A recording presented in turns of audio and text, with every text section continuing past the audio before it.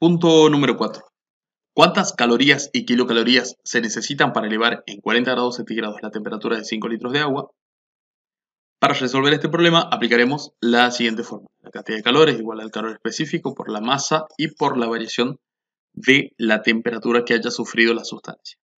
Antes de proseguir, vamos a analizar este dato. 5 litros de agua. Recordemos que la densidad del agua es igual a 1. Esto significa que un litro de agua tiene una masa de un kilogramo o de mil gramos. Entonces podemos hacer una regla de tres simple, pero utilizando estos dos datos, ya que nos interesa tener la masa en gramos. Entonces decimos un litro de agua equivalen a mil gramos de agua. 5 litros entonces serán X gramos. Es fácil hacer el cálculo y así obtenemos 5000 gramos de masa. Esto sería 5 por 1000 y ese resultado dividido entre 1. Así es como se obtiene este 5000. Entonces, esta es la masa con la que trabajaremos. Volvamos al problema. Sustituimos entonces el calor específico por una caloría por gramo por grado centígrado, que es el calor específico del agua, la masa por 5000 gramos, según vimos recién, y la variación de temperatura es el incremento, ya que se elevaron 40 grados centígrados, ya que se elevó en 40 grados centígrados la temperatura. Entonces la variación de temperatura es 40 y ahí tenemos ya sustituidos todos los valores que conocemos. A continuación lo que tenemos que hacer es simplificar las unidades en el caso de ser posible. Recordemos que como son multiplicaciones las cuentas que tenemos, simplificamos cruzado. Entonces gramos se va con gramos, grados centígrados con grados centígrados. Multiplicamos los números, 1 por 5000, 5000 y por 40, 200.000. Calorías porque es la unidad que nos quedó. Además, el calor se mide en calorías. Y ahí finaliza ya nuestro ejercicio. También nos preguntan a cuánto equivale este resultado en kilocalorías.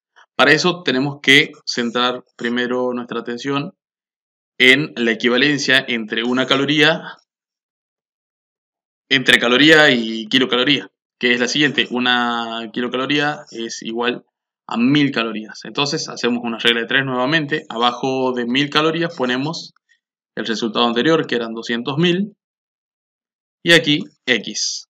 Para hacer el cálculo podemos simplificar verticalmente.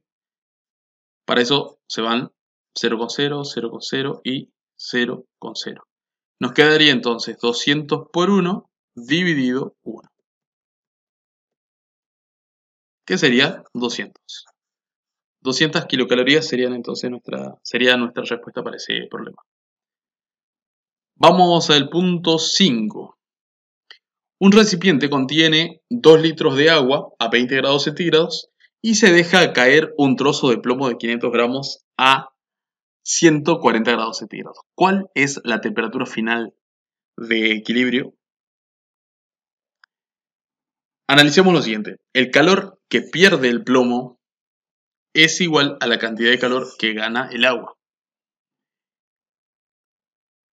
Si calculamos el calor perdido, ese resultado saldrá negativo. Para volverlo positivo, tenemos que multiplicar ese calor perdido por menos. Entonces, el calor perdido es negativo. Y si le ponemos un menos, multiplicando ese valor, haremos menos por menos y el resultado será positivo. ¿Por qué hacemos esto? Porque queremos plantear una igualdad con el calor ganado y el calor ganado es positivo. Entonces tendríamos, aplicando esta estrategia, positivo y positivo si ponemos este menos en el miembro de la izquierda de la igualdad. Igual conforme vayamos explicando, esto va a quedar un poco más claro. Simbólicamente el calor perdido sería QP, entonces, recordemos que acá tenemos un valor negativo que multiplicado por este menos que habíamos agregado anteriormente, se volverá positivo. Y eso es igual al calor ganado, a quien llamaremos QG. Como estamos calculando la cantidad de calor, aplicaremos la fórmula para calcular Q, que es calor específico por masa por variación de temperatura. Entonces, esto es igual a todo esto. Y el calor ganado también sería calor específico por masa por variación de temperatura. Entonces tendríamos casi o la misma fórmula a la izquierda y a la derecha del igual. La diferencia es que aquí trabajaremos con los valores referidos al plomo, mientras que a la derecha trabajaremos con los valores que tienen que ver con el agua, ya que la cantidad de calor que pierde el plomo es la cantidad de calor que gana el agua. Sustituimos entonces el calor específico por el calor específico del plomo que está en las tablas de calores específicos que es 0,031, no debemos olvidarnos de este menos que está acá, la masa del plomo que son 500 gramos. Y la variación de temperatura siempre se calcula como temperatura final menos temperatura inicial.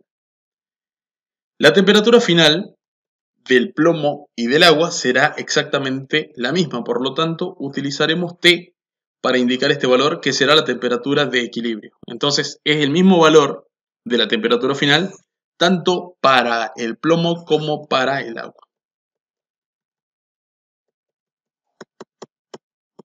Entonces, variación de temperatura para el plomo es temperatura final del plomo menos la temperatura inicial que según la consigna es 140 gramos 140 grados centígrados. Vamos a ver qué pasa con el agua. El calor específico del agua es una caloría por gramo por grado centígrado. La masa del agua es de 2000 gramos ya que tenemos 2 litros y como vimos en el punto anterior, un litro de agua tiene 1000 gramos, 2 litros tendrán 2000 gramos. Podés hacer la regla de 3 como cálculo auxiliar. Y la variación de, de temperatura del agua sería la temperatura final, que es la de equilibrio, menos la inicial, que para el agua es 20 según la consigna. Vamos a ir haciendo los cálculos que ya son posibles realizar para que la cuenta, que me quedó bastante larga, se vuelva haciendo, se vaya haciendo más sencilla, tanto numéricamente como con lo que tiene que ver con las unidades. Entonces, aquí tengo la multiplicación de estos tres valores pero es sencillo ir multiplicando estos dos. Para ello, primero simplificamos las unidades que se puedan simplificar. El gramo se va con el gramo.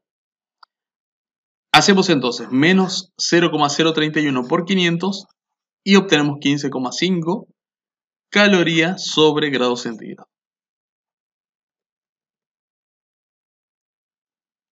En el otro miembro hacemos algo similar. Multiplicamos primero estos dos factores y este lo dejamos para el último. Entonces se va gramo con gramo. 1 por 2000 es 2000. Calorías sobre grado centígrado sería la unidad también en este lugar. Ahora que ya tenemos un solo número, podemos aplicar propiedad distributiva. Hacemos menos 15,5 calorías por grado centígrado por T al hacer esta multiplicación, nos da esto, ya que t queda como incógnita, como si fuese una x en una ecuación. Y cuando hacemos la multiplicación de estos dos factores, primero aplicamos regla de signos. Menos por menos, más. Vamos a escribir los valores para que se pueda trabajar cómodamente con las unidades. Podría ser directamente 15,5 por 140 y obtener 2170, pero tenemos que trabajar también con las unidades, así que mejor hagamos la cuenta escrita. Entonces, hacemos esta multiplicación de forma escrita que está acá. Se simplifica grado centígrado con grado centígrado y nos queda solamente calorías. O sea que cuando multiplicamos los números nos da 2170 calorías. Algo similar pasa acá. Hacemos distributiva, ahí se nos genera este término, T es la incógnita.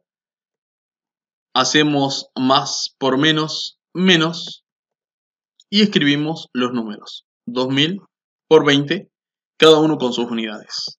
Simplificamos centígrado con centígrado 2000 por 20 es 40.000 calorías.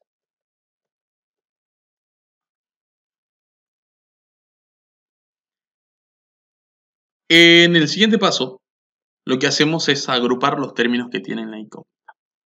Veamos, a la izquierda del igual, o sea, en el primer miembro, tenemos dos términos. De esos dos términos, solo uno, el primero, contiene la incógnita.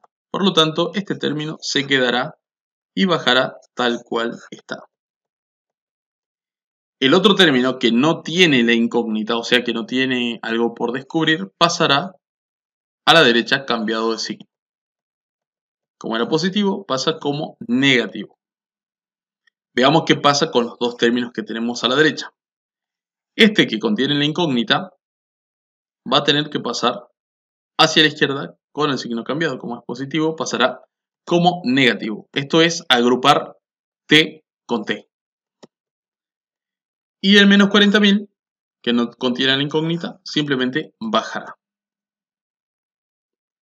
Hacemos la diferencia porque tenemos la misma letra, las unidades son las mismas, así que podemos hacer menos 15,5 menos 2000, que nos da menos 2015,5 calorías por grado centígrados T. O sea que lo único que hacemos es operar los números y las unidades con la incógnita quedan tal cual. Entonces estos dos términos se operaron y generaron uno solo. A la derecha se puede también operar, ya que tenemos caloría y caloría. Hacemos la operación entre menos 1270 con menos 40.000, que nos dan menos 42.170. Ahora, como tenemos un solo término, y acá tenemos una multiplicación, podemos pasar este número dividiendo hacia la derecha. Recordemos de que cuando algo pasa multiplicando o dividiendo, el signo no cambia y sigue siendo negativo. Ahora hacemos la división caloría con caloría se va, el resultado de la división es más 20,92 grados centígrados. Es positivo el resultado porque tenemos menos y menos. Y esa será la temperatura de equilibrio del sistema.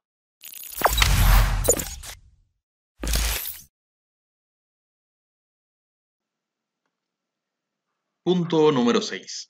Desde un estanque de 8 metros de altura se dejan caer 10 litros de agua. Y con el impacto, toda la energía se transforma en calor. ¿Cuál fue la variación de temperatura que sufre el agua?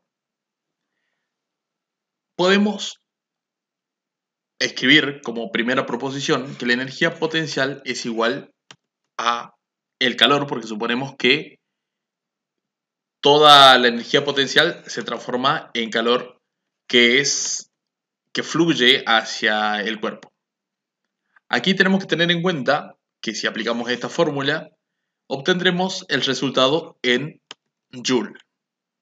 Y cuando aplicamos esta fórmula, la obtenemos en calorías, con las unidades que estamos utilizando. Vamos paso a paso y vamos a ir haciendo paralelamente las conversiones necesarias. Vamos a sustituir los valores en cada una de las variables de acuerdo a los datos del problema. Como tenemos 10 litros de agua y sabemos que un litro tiene un kilogramo debido a la densidad del agua, en la masa directamente ponemos 10 kilogramos. La gravedad 9,8 metros por segundo y la altura 8 metros. El calor específico del agua, una caloría por gramo por grado centígrado. La masa 10.000 gramos porque tenemos 10 litros y cada litro tiene 1000 gramos. Por lo tanto, tendríamos 10.000 gramos de agua por la variación de temperatura que sería cuánto se va a elevar la temperatura del agua durante este fenómeno. Hacemos el cálculo en el miembro izquierdo ya que tenemos todos los valores y obtenemos así 784 joules. En el miembro de la derecha solamente se puede hacer esta operación, simplificamos gramos con gramos, 1 por 10.000, 10.000 y solamente nos queda caloría sobre grados centígrados. Como tenemos calorías en un lado y joule en el otro, vamos a transformar o vamos a expresar los 784 joules en calorías. Para ello lo que vamos a hacer es multiplicar a este valor por el factor unitario correspondiente. Esto es, sabemos que una caloría equivale a 4,186 joules. Entonces podemos armar una fracción poniendo este valor sobre este valor o este valor sobre este según nos corresponda. Aquí nos conviene hacer calorías sobre joule, o sea, una caloría equivale a 4,186 joules, ya que así el joule con el joule me quedan cruzados y como tenemos multiplicación se simplifica cruzado y se va joule con joule. Bien, recapitulando.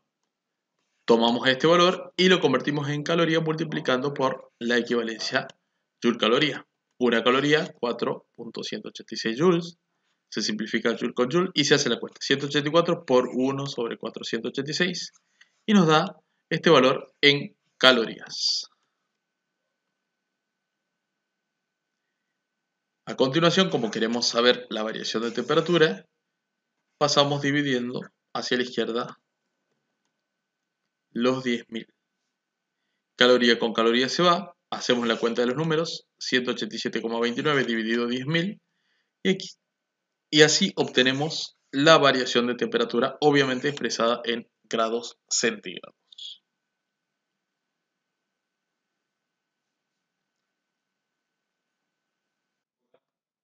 Punto número 7. Un bloque de hierro viaja a una velocidad de 36 km sobre hora y se detiene. Si el bloque tiene 2 kilogramos de masa y toda su energía se transforma en calor por fricción, ¿cuánto fue dicha energía en calorías y en kilocalorías? Según las condiciones del problema, toda la energía cinética se transformó en calor. Sabemos que la energía cinética se calcula como un medio por la masa por la velocidad al cuadrado. Entonces, se sustituye la energía cinética por esa fórmula y eso es igual a el calor.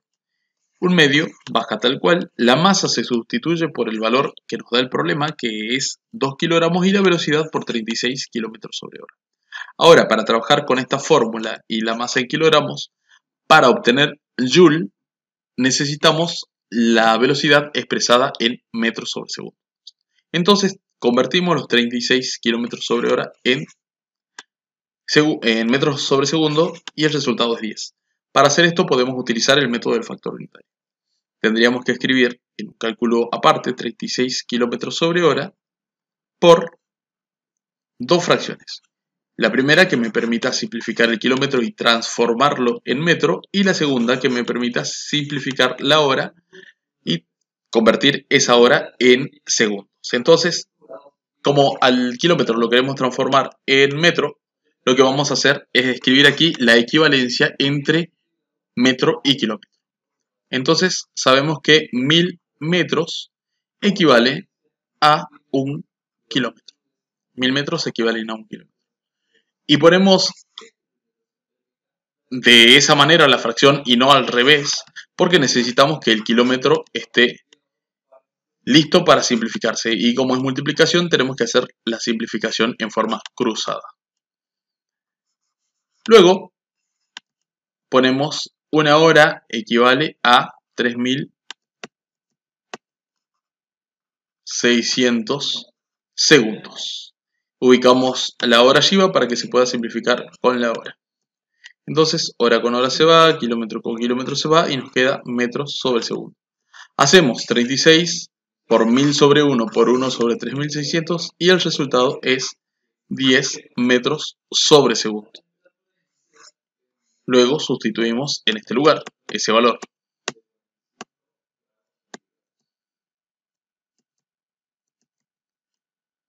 Bien, Continuamos entonces. 10 al cuadrado es 100. m al cuadrado es m cuadrado. s al cuadrado o segundo al cuadrado es segundo cuadrado. Un medio por 2 es 1, ya que se simplifica el 2 con el 2. Por 100 es 100. O podemos cargar directamente la calculadora un medio por 2 por 100 y así obtendremos 100 joules. Pero queremos el resultado en calorías. Entonces convertimos los 100 joules en calorías teniendo en cuenta la equivalencia entre caloría y joule. Sabemos que una caloría equivale a 4,186 joules. Por lo tanto, armamos una fracción con esos valores, que está acá. Y ponemos caloría arriba y joule abajo para que se pueda simplificar joule con joule, ya que se simplifica cruzado como explicamos anteriormente. Hacemos entonces 100 por 1 sobre 4,186 y así obtenemos 23,89 calorías, que es el valor que nos piden. Por otro lado, también nos piden esa cantidad en kilocalorías y podemos aplicar también el método del factor unitario. Tomamos para ello la cantidad de calorías que calculamos recién y sabemos que una kilocaloría equivale a 1000 calorías armamos una fracción con estos valores poniendo arriba kilocaloría y abajo caloría para que se pueda simplificar caloría con caloría. 23.89 por 1 sobre 1000 nos da esta cantidad de calorías, de kilocalorías.